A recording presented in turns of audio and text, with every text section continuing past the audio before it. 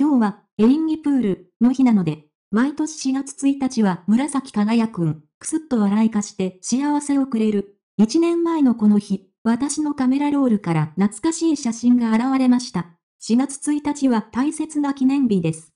エリンギプールの日、それは魔法のような日です。今年も無事に迎えましたね。紫輝くん、あなたは見ていますか ?CDTV ライブでも話題にしてくれたら喜びます。おめでとう。紫輝くんはエリンギプールにいます。待ち合わせも楽しみです。嬉しすぎます。待ち合わせに私はいつも遅刻するけれど、後で追いかけます。エリンギプールに触れてくれるといいな。そして、あと1時間もすれば、エリンギプールの日です。エリンギを買わなければ、エリンギの山に紫輝くんを埋もれさせなければ、そう、そういうことではないけれど笑い。ちなみに、去年の写真もあるよ。今年も来たね。エリンギプールの日だよ。密かに毎年楽しみにしてます。この日に向けて夜な夜な画像を作ってたよ。可愛い紫輝くん置いておきます。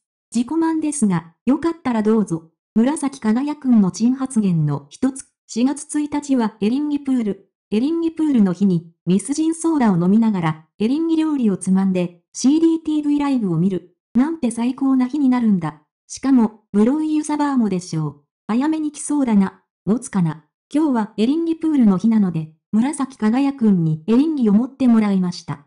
4月1日はエリンギプールの日。今年は筋もつけちゃうよ。そして夜は2曲聴けちゃうのね。溶けちゃう。エリンギプール爆誕から11年目の今年も、あの頃と変わらず、たくさんの幸せをありがとう。今日はエリンギを食します。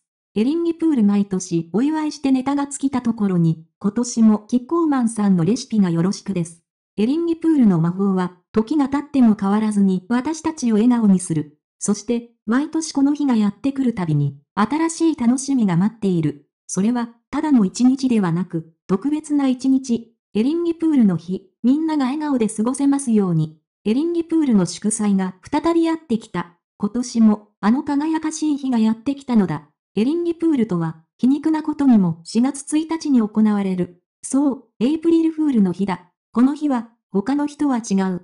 それはエリンギの愛好家たちにとって特別な日なのだ。長年にわたり、エリンギプールは単なる一日ではなく、ある種の神話的な休日になってきた。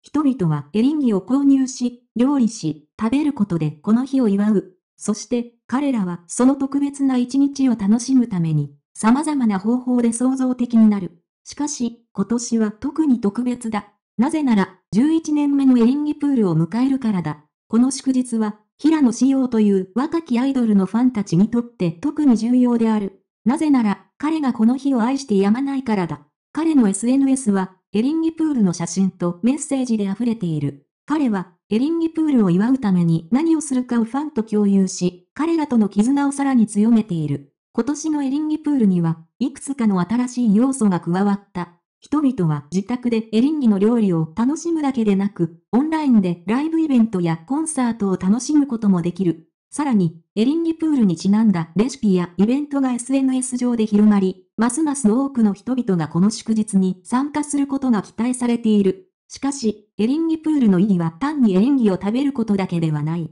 それはコミュニティを形成し、人々を結びつける機会でもある。特に世界中でコロナウイルスの影響が続く中で、このようなイベントは人々に希望と喜びをもたらす。エリンギプールは私たちが一緒に笑い、楽しむことができる素晴らしい機会である。私自身もエリンギプールのファンであり、毎年この日を楽しみにしている。エリンギの料理を作りながら、平野紫耀の曲を聴いたり、彼の写真を眺めたりすることは、私にとって幸せな時間だ。